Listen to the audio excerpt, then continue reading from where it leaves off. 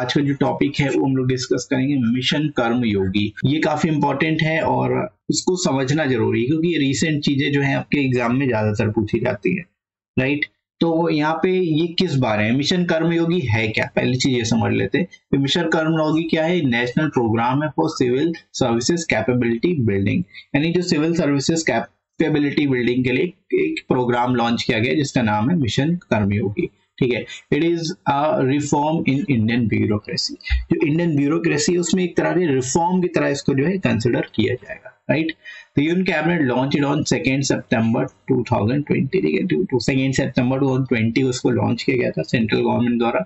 The mission intends to lay down the foundation for the Indian civil servants capacity building and aims to enhance governance मतलब एक तरह से जो civil servants हैं, उनकी capacity को बिल्ड करने के लिए सही डायरेक्शन में वे काम कर सकें और बेहतर आउटपुट ला सके। इस वजह से मिशन कर्मयोगी जो है, ये लाया गया है राइट right? तो एक तरह से ट्रेनिंग के पर्पज से इसको लॉन्च किया गया इस मिशन को लॉन्च किया गया है तो आप ये ध्यान रखोगे। राइट? इससे रिलेटेड क्वेश्चन पूछे जा सकते हैं, क्योंकि you are also going to be a government job right government employ तो इस वजह से ये स्कीम आप लोग के लिए इंपॉर्टेंट हो सकती है इंटरव्यू से इससे रिलेटेड क्वेश्चन पूछ सकते हैं। इसके साथ ही साथ फ्रेंड्स आप आईबीएस आई टीयर थ्री के इंटरव्यू बैच को ज्वाइन कर सकते हो। जो आप सभी के लिए काफ़ी इंपॉर्टेंट होगा। इसमें आपको मॉक क्वेश्चंस मिल जाते हैं नोट्स एंड पीडीएफ भी मिल जाती है और इंटरव्यू से रिलेटेड जो इंपॉर्टेंट चीज़ें हैं, वो सारा आपको कंटेंट भी मिल जाएगा। राइट यहाँ पे आपको इंटरव्यू टिप्स करंट और सिक्योरिटी से रिलेटेड इश्यूज़ को भी कवर कराया जाता है पूरा का पूरा। डेली मॉक क्वेश्चन आपको दिया जाता है प्रैक्टिस के लिए। साथ ही साथ जो इंपॉर्टेंट इंटरव्यू क्वेश्चन हैं जो आपसे पूछे जा सकते हैं, चाहे वो पर्सनैलिटी डेवलपमेंट से रिलेटेड हो या अदर रिलेटेड सेक्टर से रिलेटेड हो राइट साथ ही साथ 25 प्लस आवर्स की आपको लाइव इंटरेक्टिव क्लासेस मिल जाती हैं, जिनको आप एक्सेस कर पाओगे। 24/7 आप कभी भी अपने डाउट्स क्लियर कर सकते हो। साथ ही साथ रिकॉर्डेड वीडियोस भी आपको 24/7 रिवीजन के लिए मिल जाते हैं। गर्ल्स के लिए सेपरेट ग्रुप भी है और आपको इस बैच को ज़रूर रोल करना चाहिए, क्योंकि यहाँ पे आपको काफ़ी कुछ सीखने को मिल जाएगा और अलग से कुछ तैयार करने की भी ज़रूरत नहीं पड़ेगी। सारी चीज़ें आपको एक ही जगह पे एक सीक्वेंस मैनर में मिल जाती है राइट तो लिमिटेड सीट्स ही अवेलेबल है, इस वजह से आप इस बैच को ज़रूर रोल करिए। राइट फ्रेंड्स इसके अलावा आपको एडिशनल टेन परसेंट डिस्काउंट मिल जाएगा। डिस्काउंट कोड आपको यूज़ करना है S G ten S G ten आप जब यूज़ करोगे, आपको टेन परसेंट डिस्काउंट भी मिल जाए।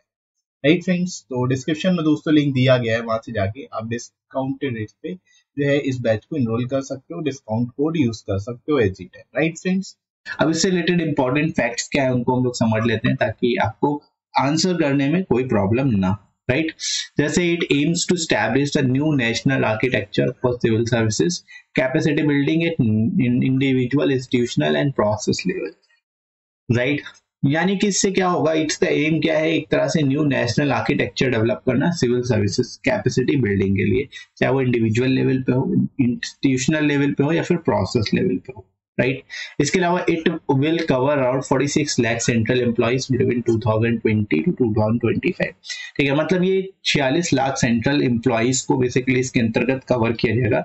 मतलब उनको एक तरह से यहाँ पे आप कह सकते हो ब्रशअप किया जाएगा, उनकी स्किल्स को निखारा जाएगा राइट ताकि वो और बेहतर रिज़ल्ट ला सके और बेहतर तरीके से काम कर सके। किस रेंज में 2020 से 2025 की रेंज में, ठीक है? मतलब 2025 तक ये चलता रहेगा इस तरह से राइट आप special purpose vehicle non profit companies set up under the companies at 113 to run this mission. ठीक है, एक स्पेशल पर्पज व्हीकल जिसको एसपीवी एक नॉन प्रॉफिट कंपनी है, जिसको स्टैब्लिश किया गया है कंपनीज़ एक्ट 2013 के द्वारा, ताकि इसे जो है एक तरह से सेटअप किया जा सके right the SPV will manage I got Karmayogi which is the online training digital platform. ठीक है, अब ये I got क्या है?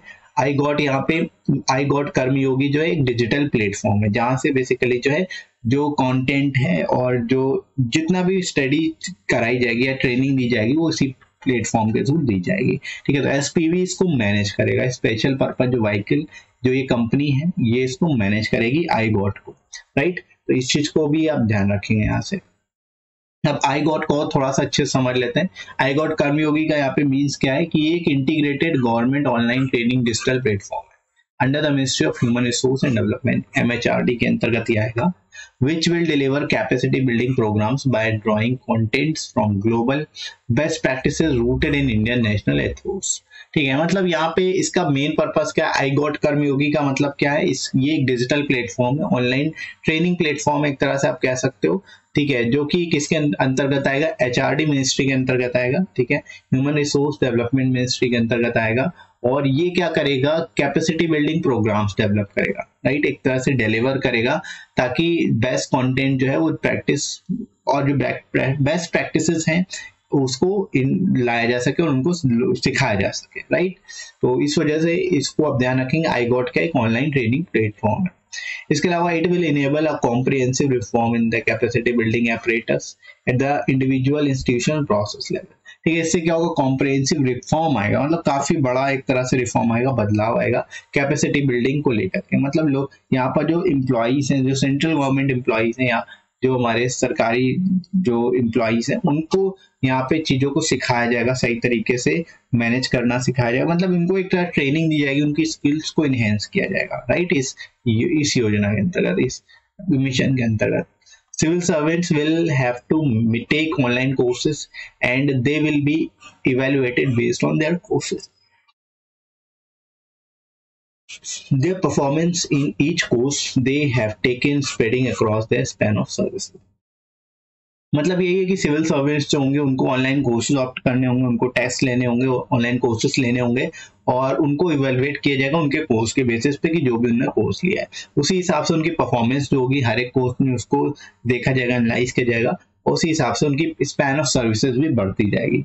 मतलब जो जितना बेहतर करेगा, जो जितना बेहतर यहाँ पे जो है एक तरह से रिस्पॉन्स करेगा, वो उतना ही बेहतर तरीके से उसका प्रमोशन और भी चीज़ें होती चली जाएँगी, वो आगे बढ़ता चला जाएगा नेक्स्ट लेवल तक राइट तो यहाँ पे आप इस तरह से जो है पूरा बता सकते हो इसके बारे में।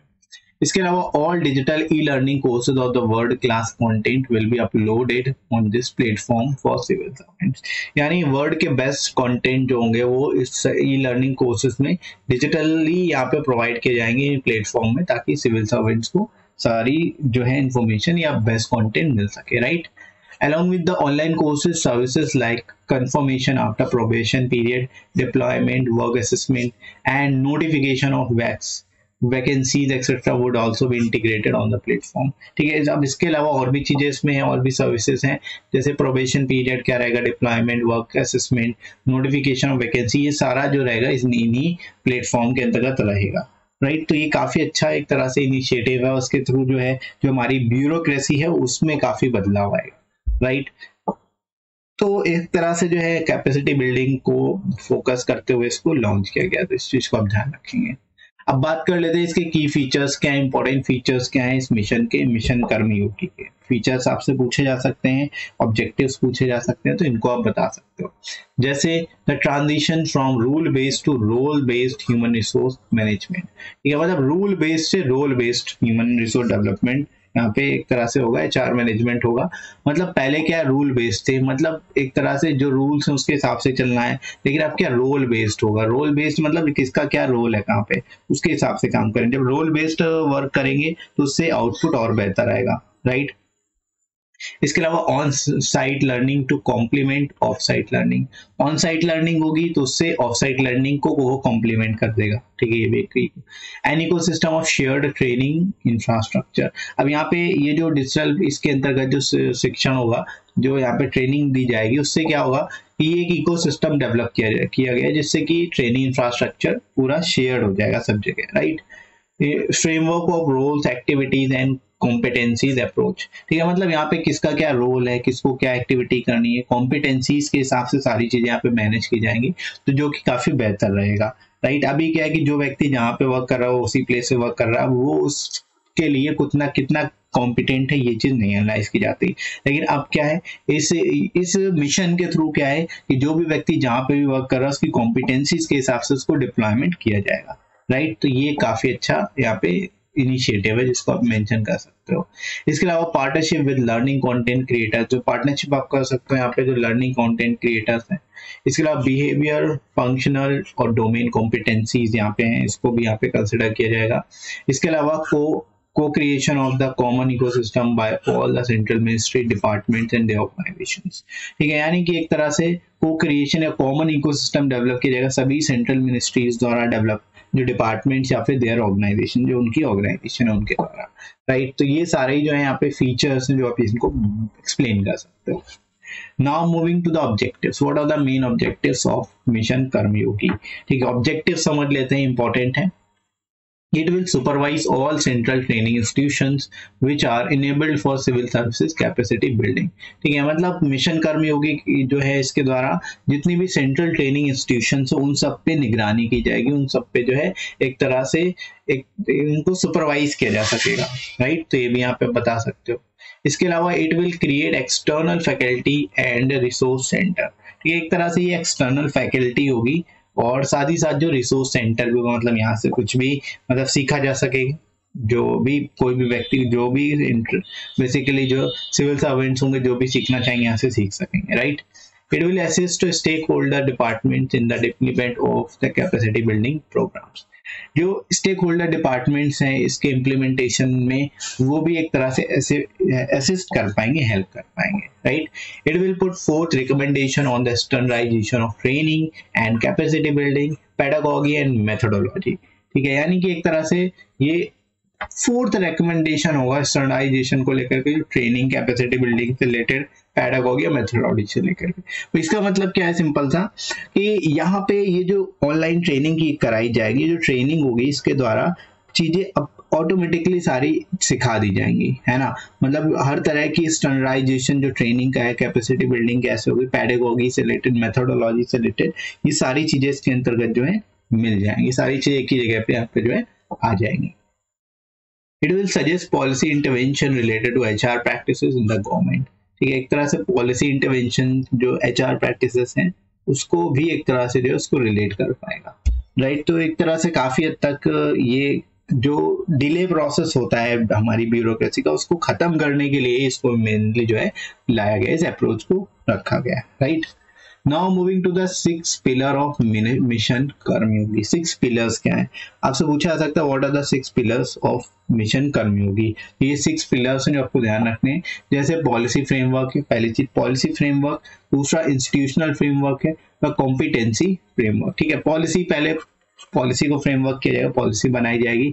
इंस्टीट्यूशनल फ्रेमवर्क होगा इसमें कौन कौन से इंस्टीट्यूशनल कैसे ट्रेनिंग दी जाएगी। कॉम्पिटेंसी फ्रेमवर्क में किसकी क्या कॉम्पिटेंसी उसके हिसाब से उसको पोस्टिंग दी जाएगी। फिर डिजिटल लर्निंग फ्रेमवर्क होगा कि कैसे डिजिटली चीज़ों को सिखाया जा सके। तो डिजिटल लर्निंग प्लेटफॉर्म इसके अलावा electronic human resource management system ये एच होगा। और साथ ही साथ जो है monitoring and evolution framework monitoring की जाएगी और इवोल्यूशन भी होगा। तो ये सिक्स पिलर्स हैं मिशन कर्मयोगी के राइट तो इनको आप ध्यान रख सकते हो। इम्पोर्टेंट है। और इससे रिलेटेड ज़्यादा कुछ नहीं पूछा जाता। पूछा जाएगा बेसिकली बेसिक चीज़ें ही आपसे पूछी जाएँगी। जैसे आपसे पूछ लेगा व्हाट इज़ मिशन कर्मी होगी what are the objectives of mission कर्मी होगी और what are the key features इस तरह की चीज़ें आपसे पूछी जाएँगी राइट तो बहुत ज़्यादा डीप में आपसे कुछ नहीं पूछा है और ये इतना डीप में अगर आप पढ़ लोगे डेफिनेटली आपसे कुछ भी पूछ ले रहे आप उसको इजिली आंसर कर पाओगे। आपको कुछ नया नहीं लगेगा। ऐसा नहीं होगा कि आपको ये तो मैंने पढ़ा ही नहीं था, ये क्या आ गया? है ना? ये क्या पूछ लिया? ऐसा कुछ नहीं लगेगा आपको राइट तो इस वजह से इसको ज़रूर आप अच्छे समझते हुए चलिए। जितना बेहतर समझेंगे, उतना बेहतर है।